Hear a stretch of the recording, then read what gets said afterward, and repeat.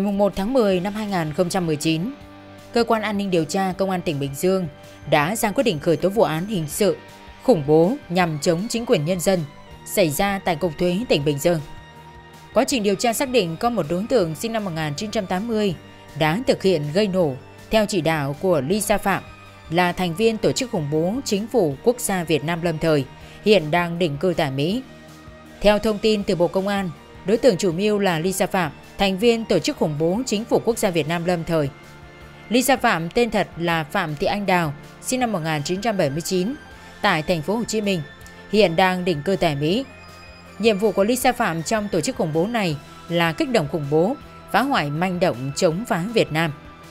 Còn nhớ tháng 8 năm 2017, Lisa Phạm cùng Đào Minh Quân, thủ tướng tự xưng của Tổ chức Chính phủ Quốc gia Việt Nam lâm thời, cũng là những kẻ cầm đầu chỉ đạo vụ ném bom xăng gây cháy 320 chiếc xe tại kho tạm giữ xe vi phạm giao thông của Công an Biên Hòa, tỉnh Đồng Nai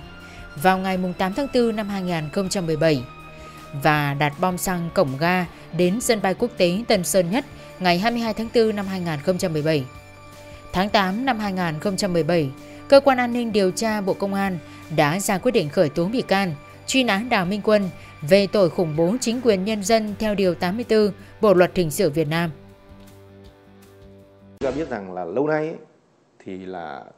các cái tổ chức khủng bố mà nếu có gây hấn ở Việt Nam hoặc gây ra những cái vụ khủng bố ở Việt Nam đứng đằng sau đó đều có cái sự tài trợ của chính phủ của một số quốc gia. Khi thực hiện những hành vi đó là đấy chỉ do là một bộ phận nhất định của trong những cái chính quyền của họ cái cái cái, cái mưu đồ chính trị. Để nhằm mục đích là là làm cho người dân Việt Nam là đau khổ hơn hoặc là kích động vào cái tạo ra cái sự là bất ổn trong việc là trong môi trường hòa bình và ổn định thực hiện những cái ý đồ chính trị khác nhằm cuối cùng là để làm suy yếu chính quyền của chúng ta. Đấy, chính vì thế cho nên là chúng ta phải vạch mặt chỉ tên và đồng thời phải đấu tranh một cách trực diện Đấy, bằng mọi biện pháp. Thời gian qua các thế lực thù địch, nhất là tổ chức khủng bố Việt Tân vẫn luôn nhen nhóm khủng bố, không ngừng thực hiện chiến lược diễn biến hòa bình, bạo loạn lật đổ thông qua mọi âm mưu thủ đoạn, các hoạt động khác nhau nhằm xóa bỏ chế độ xã hội chủ nghĩa ở nước ta. Bên cạnh tổ chức Việt Tân, thời gian qua công an các đơn vị địa phương đã tập trung lực lượng, biện pháp ra sức ngăn chặn hàng loạt âm mưu hành động khủng bố, phá hoại cái gọi là chính phủ quốc gia Việt Nam lâm thời. Chính phủ quốc gia Việt Nam lâm thời tiền thân là tổ chức Tân Dân Chủ do Đào Minh Quân sinh năm 1952 thành lập. Sau khi bị cơ quan an ninh Việt Nam đấu tranh phá giã, từ cuối năm 2015 đến nay, Đào Minh Quân cùng các đối tượng cốt cán của tổ chức đã tiến hành các hoạt động khôi phục, kiện toàn lại tổ chức và thực hiện nhiều kế hoạch chống phá như tuyên truyền, xuyên tạc chủ trương, chính sách của Đảng, Nhà nước Việt Nam, lôi kéo, móc nối, phát triển lực lượng vào trong nước và đưa người từ nước ngoài xâm nhập vào Việt Nam, chỉ đạo thực hiện các hoạt động khủng bố, phá hoại, chống phá nhà nước Việt Nam. Nhưng tất cả các âm mưu phá hoại này đều bị lực lượng công an Việt Nam cùng các cơ quan chức năng phát hiện, đấu tranh, ngăn chặn, làm chúng suy yếu. Ngày 11 tháng 11 năm 2019,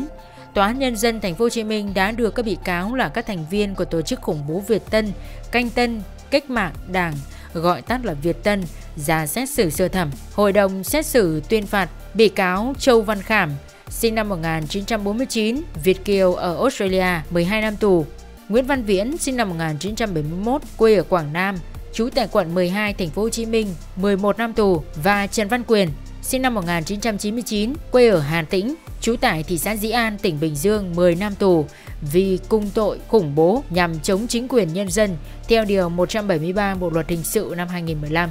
Đầu năm 2019, theo chỉ đạo của đối tượng cầm đầu tổ chức Việt Tân, Châu Văn Khảm đã xâm nhập bất hợp pháp vào Việt Nam qua biên giới Campuchia, lôi kéo kết nạp một số đối tượng trong nước vào tổ chức khủng bố Việt Tân để đào tạo, cung cấp tài chính, kích động các hoạt động chống phá nhà nước Việt Nam.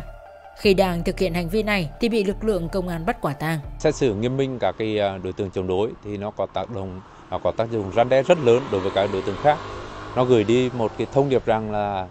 à, tất cả những đối tượng mà có âm mưu, ý đồ và hoạt động là chống phá, vi phạm pháp luật thì sẽ đều bị xử lý nghiêm minh theo quy định của pháp luật. Trên trường quốc tế cũng như là trên mọi phương diện ngoại giao thì chúng ta đều gửi đến những cái thông điệp rất rõ ràng và cứng rắn trong việc là đấu tranh với cái chủ nghĩa khủng bố đó, lên án cực lực cái hành vi khủng bố đó. Và đồng thời nữa thì chúng ta cũng có những cái biện pháp đấu tranh rất là mạnh mẽ à, trên trường ngoại giao, đối với những quốc gia nào, đối với những chính phủ nào mà nếu có những cái biểu hiện mà để dung túng hoặc là không kiên quyết đấu tranh loại trừ những cái tổ chức khủng bố nó đang tồn tại và nó tiếp tục hoạt động, hoặc là gì, đấu tranh là rất rõ ràng đối với những cái việc, những hành động mang tính là kích thích, rồi kích động thậm chí là châm ngòi và thậm chí là giúp đỡ cho tổ chức khủng bố này chống lại nhà nước kia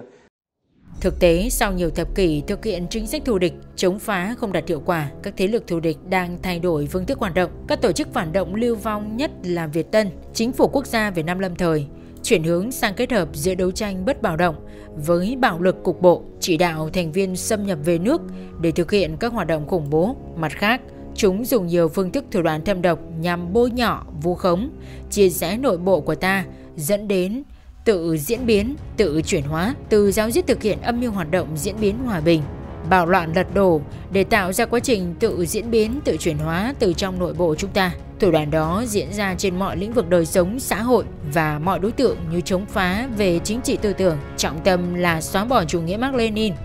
tư tưởng Hồ Chí Minh, quan điểm đường lối của Đảng, làm tiêu tan nền tảng tư tưởng trong các tổ chức đảng, tổ chức xã hội và mọi tầng lớp nhân dân nhất là đối với thế hệ trẻ. Chúng xuyên tạc, chia rẽ, gây rối loạn nội bộ. Bên cạnh đó, chúng dùng nhiều thủ đoạn phá hoại về kinh tế, với ý đồ làm cho Việt Nam rơi vào tình trạng khủng hoảng kinh tế. Mục tiêu lấy việc chống phá từ bên trong kết hợp với điều kiện bên ngoài để tạo ra áp lực đối với nền kinh tế nước ta, tổ chức xây dựng lực lượng, tổ chức chính trị đối lập để từng bước phá vỡ sự đoàn kết thống nhất trong tổ chức đảng, nhà nước và xã hội mặt khác đẩy mạnh xâm nhập tác động, hướng lái truyền thông Việt Nam theo ý đồ tự diễn biến, tự chuyển hóa. Từ khi đất nước chúng ta giành độc lập, đảng ta trở thành đảng cầm quyền, đúng không? Thì cái câu chuyện diễn biến hòa bình của các thế lực thù địch đã chống đối lại đảng, chống đối chế độ, nó là một cả một là một vấn đề nó mang tính thời gian khá lâu dài rồi. Cho nên vấn đề đặt ra ở đây là ta phải nhận chân ra được cái, cái, cái âm mưu, cái thủ đoạn ấy ra sao? Để chúng ta có những rồi chúng ta gì? Là chúng ta chúng ta, chúng ta chủ động đối phó như thế nào? Trên mặt trận diễn biến hòa bình chúng còn bóp méo xuyên tạc về công tác phòng chống tham nhũng của đảng nhà nước ta. Hiện nay các thế lực thù địch phản động đang triệt để lợi dụng sự bùng nổ của các phương tiện thông tin đại chúng để đưa ra những luận điệu xuyên tạc sai trái nhằm tác động vào tư tưởng nhận thức của cán bộ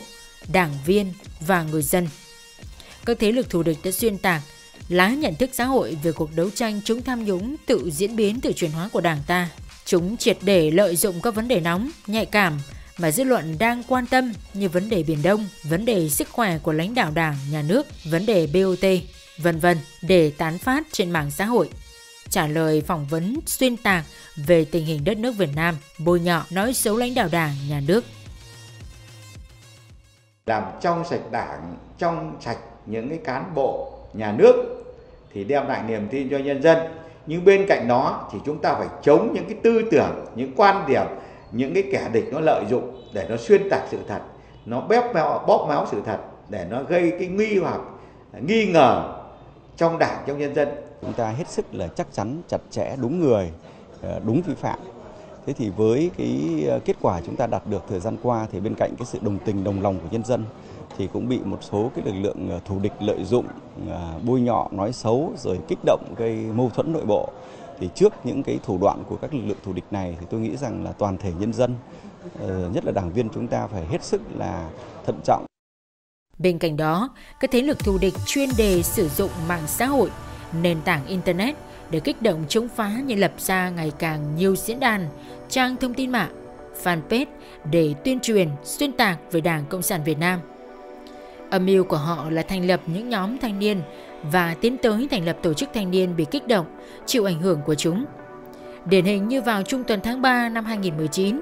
trên một số trang mạng xã hội, đặc biệt là fanpage Safe Tam Đảo, xuất hiện liên tiếp các bài viết kêu gọi người dân ký tên gửi tới Bộ Tài nguyên và Môi trường về dự án Tam Đảo 2 tại tỉnh Vĩnh Phúc. Thực chất Safe Tam Đảo là một dự án lợi dụng danh nghĩa môi trường nhằm mục đích phản đối triển khai dự án Tam Đảo 2, góp phần thúc đẩy từng bước hình thành xã hội dân sự để chống lại đường lối phát triển kinh tế của đất nước và cũng là nhằm mục đích để tổ chức voi cấp kinh phí hoạt động. Qua sự việc xếp Tam Đảo, không khó để nhận ra một sự thật, các phần tử phản động, cơ hội chính trị đã lợi dụng triệt để vấn đề về môi trường để lái hướng dư luận sang vấn đề phá rừng nhằm thực hiện ý đồ chống đối. Trong quá khứ, chúng cũng đã từng gây ra nhiều vụ việc, trong đó có việc liên quan đến sự cố môi trường biển miền Trung năm 2016.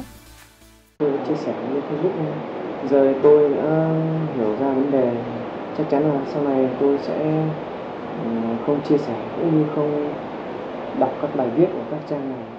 Các thế lực thù địch là nó dùng cái thông tin để tấn công của chúng ta. Mà nó cứ hàng ngày hàng giờ ra giả ra giả như vậy. Cho nên phải hết sức chú trọng cái này. Giáo dục cho cán bộ đảng viên phải có cái bản lĩnh chính trị vững vàng. Tôi đánh giá rất cao bộ công an trong những năm vừa qua với cái việc đi trước